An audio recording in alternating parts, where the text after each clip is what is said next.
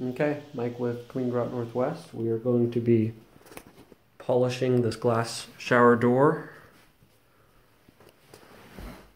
Getting all these hard water spots off. And then this stone shower. Just FYI, I've had a discussion with the, the homeowner. They did not pick this material out. This is about the toughest stuff to maintain in a shower. It's very porous and it's very rough.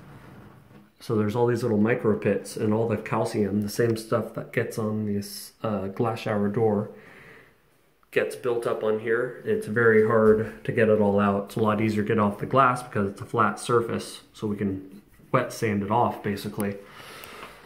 Um, but we're gonna do our best to get it a whole lot better.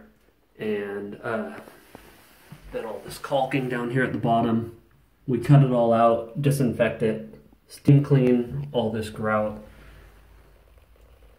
and then all this just gets cut out and we're going to redo it in super grout additive um, from ceramictilepro.com and uh, get this product get the shower a whole lot better. Um, then these sinks are getting polished.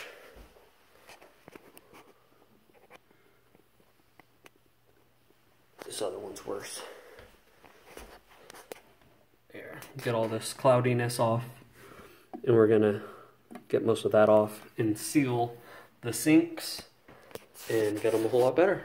So, over and out.